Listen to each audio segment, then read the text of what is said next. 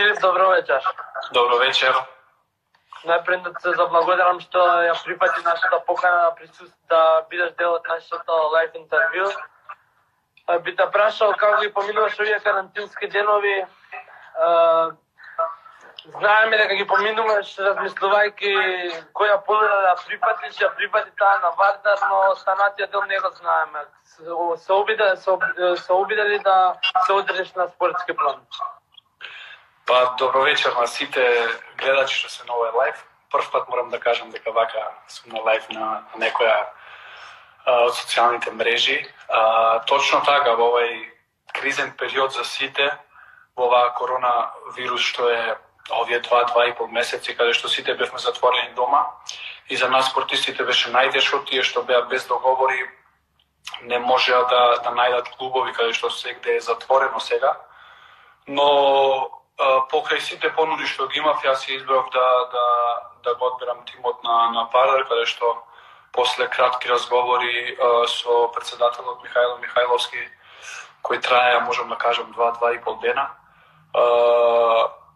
сите зборови што ми ги ме, ме привлекоа за да за да дојдам во во во Вардар да се вратам во Македонија. И мислам за мене дека тоа е еден една голема мотивација каде што ќе играм а, на европска сцена, ќе играм во во најдобриот клуб во моментот што што може да биде во три години освојува два пати Лига на шампиони и мислам дека за мене тоа е една голема мотивација да бидам пред таа публика што е во Македонија, во, во екипата на Варда што ја има, во спортскиот центар Јанес Сандански, мислам дека тоа е правилна одлука што ја имам донесена. За Вардар ќе разговараме после малце подетално, сега би сакал да те навратам на твоите почетоци, како се раѓа љубовта кон ракометот. Па, јас се преселувам со мојата фамилија од uh, Крушево во Скопје и uh, на мој 13 на моја 13 годишна возраст uh, пред тоа тренира фудбал исто во Скопје, но на 13 години моите кажа ајде да пробаш ракомет. Јас искрено да кажам немав појма каков спорт е тоа. И прв пат кога отидов во сала ми беше многу чудно, се ново за мене. Но првите две недели ми беа така чудни, но потоа која видов како се игра, кога ги научи првите правила на ракометот, мислам дека тоа беше пресудно за тоа да, да се одлучам за, за тој спорт. И имав среќа првите два месеци бев во школите на Металург и потоа се формира една генерација со, со тренерот Александар Јович, каде што се направи селекција од 96-97 годиште и а, имав а, среќа да да бидам во таа генерација и од тогаш почнаа тие мои почетоци каде што еве ден денеска сум на на ова ниво. Во металургија добиваш целата афирмација во македонскиот ракомет. Може ли на некој начин да ни објасниш зашто металургија е толку посебен клуб за младинските така категории? Едноставно сите таленти ја бираат автокоманда. Па, реално да ви кажам дека не знам моментално како работи Вардар и пред 4 години пред да дојам тука во Германија, но а, можам да кажам дека во Металург тие години кога бевме ние се вложуваше премногу во, во млади категории, имаше и својот камп, сега не знам точна бројка, но, но тогаш кога почнавме ние беа од, од 300 до 400 деца на летен камп. И мислам дека а, вложува многу во, во младинските категории, каде што се покажа дека а, дека во овој период сега кога треба да дојде до некоја промена на генерација и во на репрезентативно ниво, мислам дека најмногу од а, а, ние помладите што сме во, во репрезентацијата, сите сме излезени од, од Металург, од школа на Металург, а, сите бевме а, тренирани од стратегот Лино Червар, каде што се покажа дека е еден фантастичен тренер со, со големо искуство што има освоено све што може да се освои и а, за на таа гледна точка мислам дека Металург имаше а, некоја визија да направи играчи каде што ќе ќе бидат носители и ќе ќе можат да рачунаат во репрезентацијата на на нив. Веќе го спомена Лина Червар, тоа е и моето следно прашање, кога Хрватот дава придонес во совршувањето на тој дракометен талент? Па имавме и некоја таа генерација, имавме и некоја среќа каде што се деси тоа таа криза во Металург, сите повозрастни играчи се замина, останавме ние младите, каде што ги наследивме нив и ја, добија, ја добивме таа голема шанса да, да тренираме и да учиме од таков тренер. Доста вложуваше во нас, доста се трудеше со нас, доста не учеше и а, мислам дека све до сега што имаме а, и што покажуваме од играта ни е од него.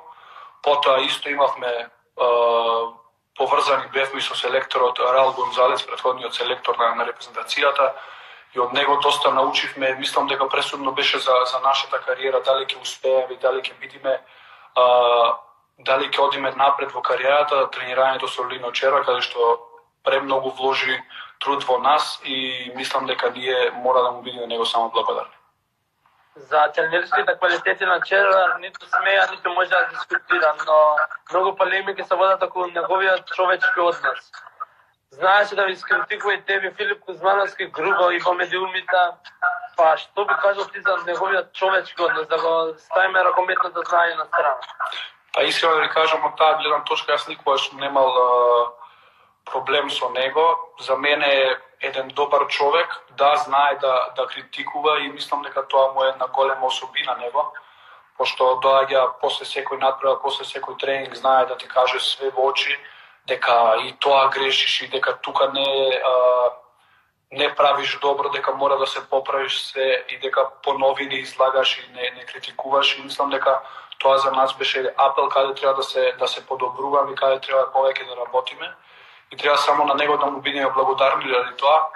А, и искрено не можам да кажам да се зборува, сум читал јас дека по медиуми знаат и да, да зборуваат лоши зборови и погребни зборови за него, но од мој аспект и од моја страна јас не можам да кажам ништо такво поради тоа што имам само добро видено јас од него.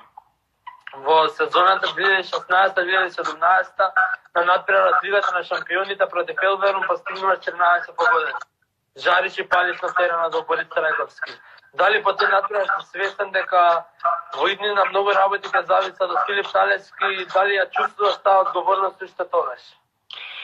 Па да, некако знаете во едно време сме каде што технологијата е многу напред и а, секој има достап до интернетот и а, сите гледаат, да така беше. Пред, пред тие две години јас многу се вложив во, во ракометот, со многу тренинзи, со, со тренерот Далино Чевел и мислам дека та, тој почеток на таа сезона беше за мене еден преокрет на, на мојата кариера, каде што после 6 месеци ја добив таа понуда од германскиот клуб и uh, мислам дека тие утакмици на почеток, првата утакмица со Елверу, потоа имав и добри утакмици во, во сеха лигата, се за мене само една круна на мојот почеток, тоа што следи за мојата кариера. Твојот неоспорен голем потенцијал, неверојатните да надпревари за Металург во Лигата на шампионите беа само причина да добиваш понуди од големи европски гиганти. Дали понудата од Райникар беше најголема, најпримамлива и затоа го одбира тимот од Майнхен, или пак те привлече Германија и најсилното клубско првенство во ракометот? Па имав, па имав и други понуди, меѓутоа таа некако ме привлече и во тој период мислам дека Рајник Елевен беше и во на германско ниво, дека беше најдобар клуб и може би тоа ме привлече да подпишам за нив. Не можам да кажам дека одлуката ми е грешка, може би е грешка, но јас од моја гледна точка не кажам дека е грешка. Се е искуство во, во животот. Е, осетив како и да не се игра, поради тоа што јас дојдов на 20 години тука Мислам дека кога ќе дојдам тука ќе носам и екипата во Германија, но тука се, се соочим со тоа да, да, да не играм и да не бидам прв играч и прва виолина, како се вика на, на теренот. А, малци ми беше тешко, уште се борам со тоа, но а, период по период и сезона по сезона сваќам дека мора константно тоа да се работи, дека каде и да отидам во било кој клуб и кога и да отидам и на 30 години се почнува нула, поради тоа што си нов играч во тој клуб, треба да покажеш квалитети, треба да, да покажеш дека тренираш, дека работиш и се. И мислам дека тоа ми е само една а, една голема мотивација каде што осетив дека а, кога ќе дориш на некое ново место, дека нема од почеток да бидеш прв играч, него треба да се покажеш на секој тренинг, на секој утакмица за да ги добиеш тие шанси веќе кажа дека него оценуваш како тоа твојот потек да примена Жуарај Мека. Но дали докога сега некој помат колега од Македонија те праша што да прави докога има понуда од странство, дали да достане со неколку сезони тука или да дојде, што би му одговорил? Па искрено ќе би му дал една опција и да отиде во некој голем клуб, да не треба да се одбија таа понуда. Секако тие клубови се бројат на прсти каде што се големи што се на европска сцена. А, зависи кој клуб го бара. Меѓутоа од моја гледна точка ќе му кажам дека никогаш нема да сгреши. Ќе биде за него само а, едно големо искуство во случај да биде една-две години во тој клуб како што ми се деси мене. И а, може да проба, но меѓутоа ако биде ситуацијата како што треба во тој клуб кај што е во Македонија, во Вардар, во, во Металург, во Еврофарм сега, да се тренира квалитетно, да има добри услови, да игра на, на убава сцена сега сека лига или лига на шампиони, јас би му кажал дека може да остане уште година, две, па после да доди. Ако во Рајника Леван силната конкуренција беше причина за Талески повеќе време да седи на клупа, тогаш зашто Балинген не го искористи свиот твој потенцијал? Па искрено да кажам за, за тука во Балинген не можам да, да кажам ништо, зошто? Поради тоа што а, со тренерот пред да дојдам тука бевме во, во, интензивни, во интензивен контакт и постојано правевме муабет какви мисли има со мене, што, што треба да правиме. И првите недели тука кога дојдов, тоа и се покажа на терен, дека ми верува, дека не остава да играм. Но после неколку одиграни средби што ги направив добри, некако се смени односот према мене од страна на тренерот. И не знам од која причина. Буквално јас одев на тренинзи, си тренирав, седна и нормално, немаше никаков проблем од моја страна и не сум ни проблематичен човек ни играч. И е, не знам од која страна. После тоа пак се се случи една утакмица со Берлин кога одиграв добро тука дома и ги победивме. И после таа утакмица едноставно како да ме заборави мене. Знаеш, да ме стави во, во еден напад само во, да, да одиграм и после може да ме извади на трупа и да ме остави. Не знам зошто, не го ни прашав од која гледна точка тоа го прави. Само знаев дека тука за мене по сега кој имав една година договор, знаев дека за мене тука нема место.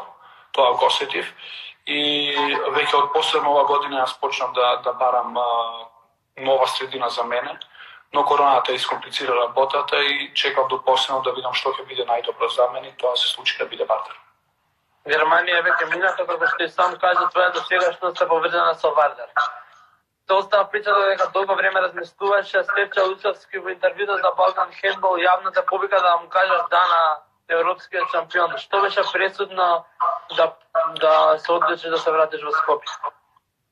Па го видов тоа, пред тоа интервју нема исконтактирано со, со тренерот на Варда Стефче и а, после тоа интервју, после 3-4 дена, он ми сконтактира мене, ме праша какви ми се плановите и јас му кажав дека сум многу заинтересиран за Вардар, меѓутоа чекам да, да ме побара сега го господинот Михајло Михајловски. И после еден ден од разговорот со, со тренерот ми се јави Михајло и како што кажав на почетокот, мислам дека два, два и пол дена траја нашите е, погаѓања со како да се договориме и е, на крај испадна најдобро, поради тоа што ми кажа се најубави зборови председателот Михајло Михајловски и за мене беше тоа пресумно да дојдам во Барбар.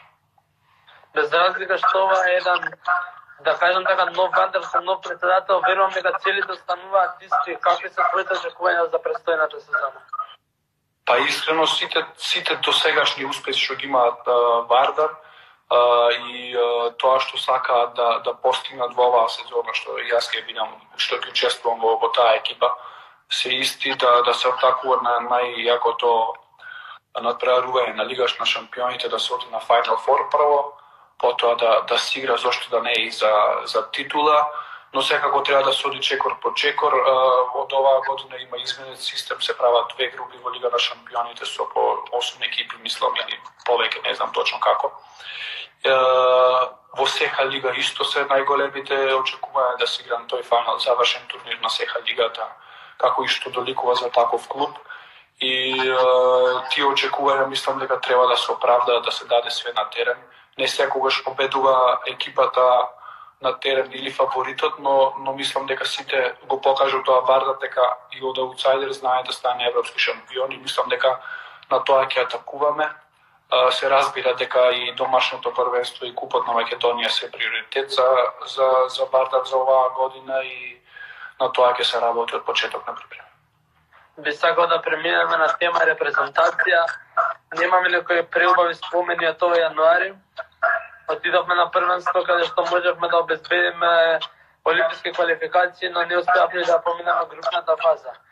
Не би те прашувал да ми го пишува цело првенство, би те прашувал само прашање за натпревар против Австрија.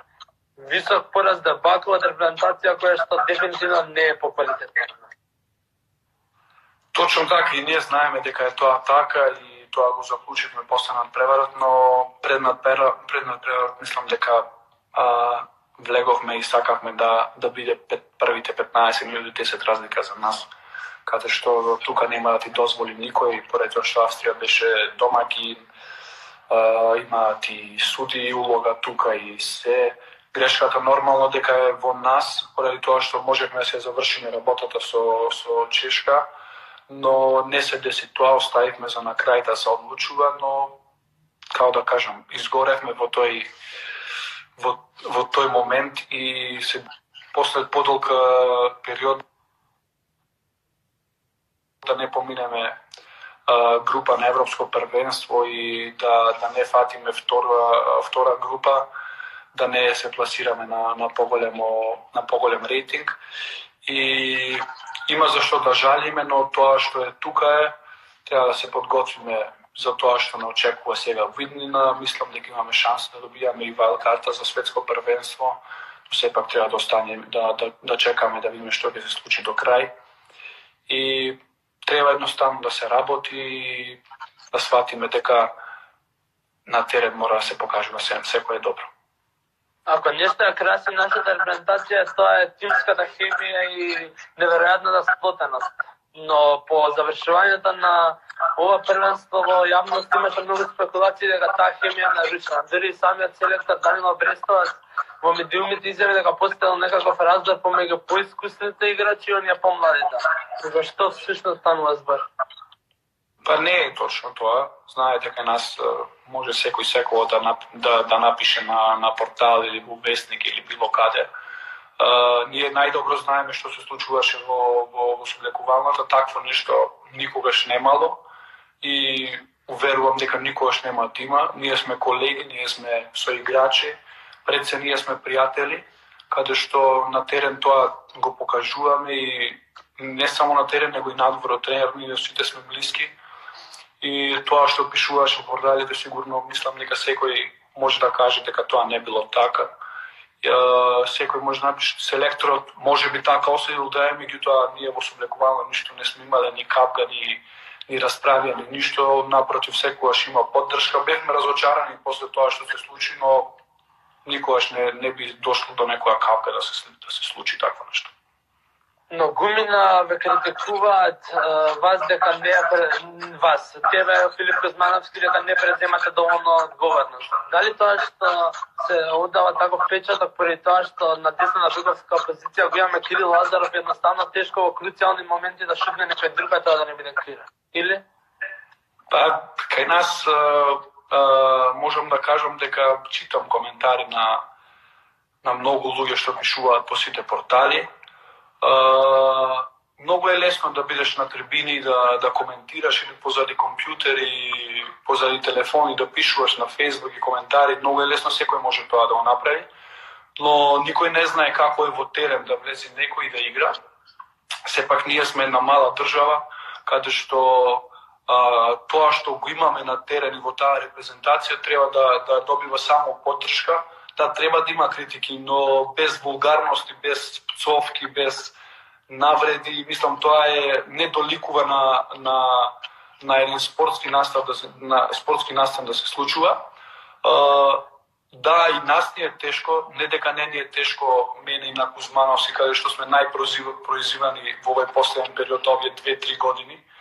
Uh, сакаме ние многу, но мислам дека допрва доаѓа нашето време и тоа што треба најдобро да го покажеме. Требаше досега да го покажеме тоа што го знаеме, ама сега мислам дека ќе дојде нашиот период, нашите пет минути како што се вели и ќе покажеме најдоброто на терен, поради тоа што имав една изјава пред една година, мислам дека квалификации во Исланд, ние знаеме да играме ракомет, не за джабе сме во репрезентација или во некој клуб каде што некој не може да, да, да дојде и некој што не побара, да, да играме за тој клуб, стварно имаме квалитет, затоа и не земаат, но тоа треба да се покаже на терен и како што реков, ќе дојдат нашите 5 минути, тоа ќе го покажеме.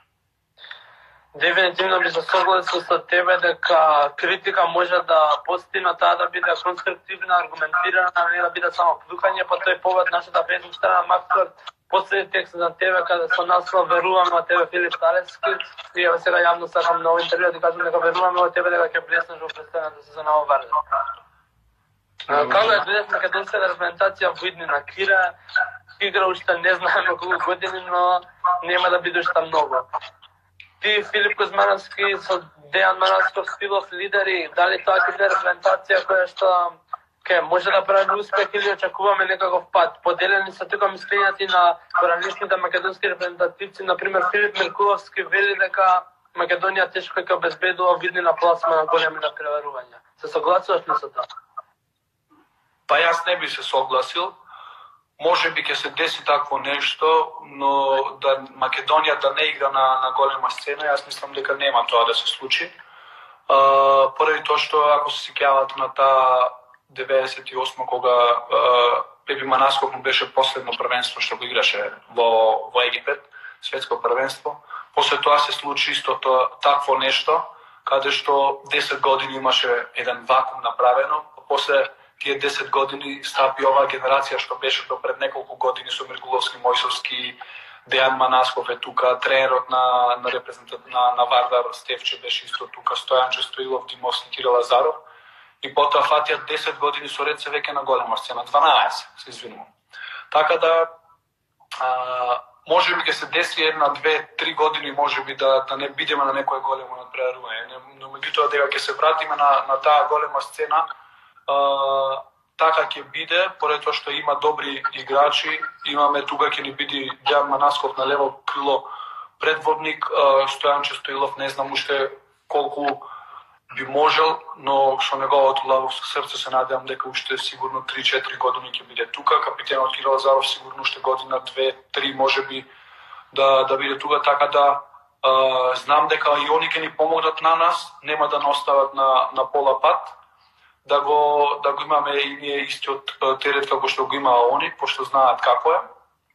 И, и ние исто така нема да дозволиме, како што кажав, ќе ќе работиме напорно за тоа да не се случи и го посакуваме тоа на нашата држава, пошто таа таа тоа го заслужува и ракометот наш го заслужува тоа да биде на голема сцена имаш искуство со германската лига, така што верувам дека си компетентен да ми одговориш на прашањето околу подвладувањето. Тоа е една тема која што многу години се вовлекува кога се работи за македонскиот ракомет. Како треба да се подмлади? Дали се подмладуваме на вистински начин? Дали тоа зависи од системот на работа или некогаш зависи од самите ракометари колку тие ќе се наметнат всушност да влезат во репрезентацијата? Реално пак ќе кажам, ние реално еден многу голем број на играчи. Ние сме само 2 милиони жители, од каде што во, во ракометот може би има само 1000 ракометари. И од тие 1000 сега ќе се направи некоја селекција. Да се прави тој тој подмладо во нашата репрезентација почна уште пред 4 години тоа да се прави.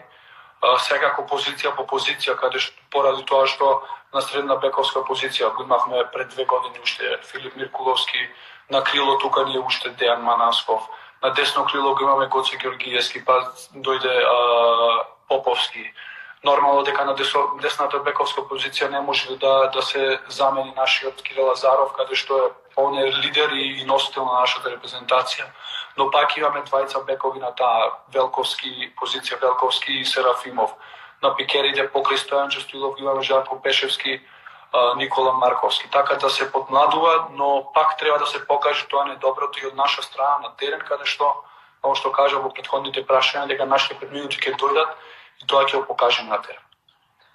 Засажуваме ли вајлд карта, Па искрено заслужуваме, поради тоа што последните 10 години сме константни на тие големи надпреварувања и доста вложуваме во ракометот како и на во сениорска репрезентација, така и во младински селекции.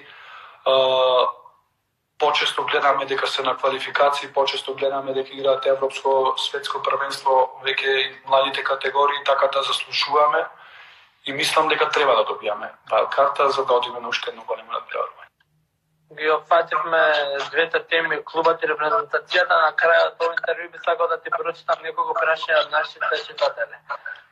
М. Цветковски прашува, односно бара од тебе да го искоментираш шутот од Европското првенство кој беше за 140 км на час и беше прогласен за најсилен шут на целиот шампионат.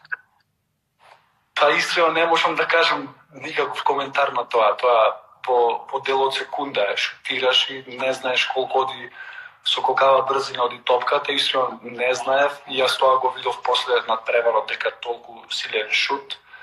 Uh, треба да работам уште на, на, на тоа, тоа што ме краси тој скок шут и мојот шут. Uh, и мислам дека uh, тоа ќе ги биде најголемата, најголемото оружје мене во иднина. Георгиевски 13 прашува кој е твојот клуб на ништата?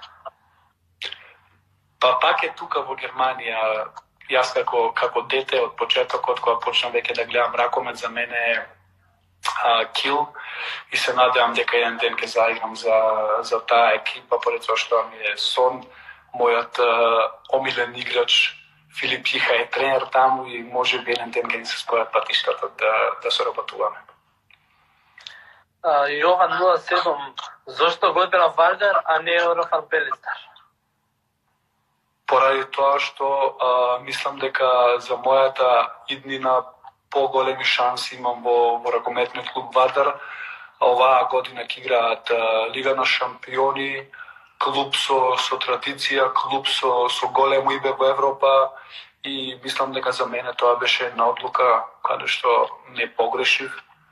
Ќе играм во, во најдобриот клуб моментално што е во Европа и за мене тоа е доволно имаше едно прашање дали очекуваш во Варда да добиваш многу поголема минутажа туку што ја добиваш во Германија, односно дали во преговорите се постави прашањето колку играм? Па, искрено да ви кажам, а, да си поставив такво прашање, но како што кажав на, на, на, на почетокот, а, секако нов сум таму, ако сум македонец, доаѓам како нов играч во Вардар, Дисингер е тука пред мене, доаѓа и Санталов има пред мене подпишано, јас сум еден од тие последните што подпиша, така да ќе треба да дојдам и на, на припреми, да работам максимално на, на тие контролни надпревари што ќе ги има Вардар, треба максимално да, да бидам вложен. И тоа ќе биде одлука на, на тренерот, дали треба да, да добивам поголема минутажа, колку ќе играм, која ќе биде мојата улога во, во екипата, се тоа зависи како ќе се покажам на почеток. Талецки ти благодарам што одвои време да ни угостиш едно вакво интервју каде што патиме доста теми. Ти посакувам многу среќа во престојната сезона и се надам дека ќе се работуваме во еднина. Фала, многу чест ми беше. Поздрав до сите гледачи и сега од ќе се работуваме.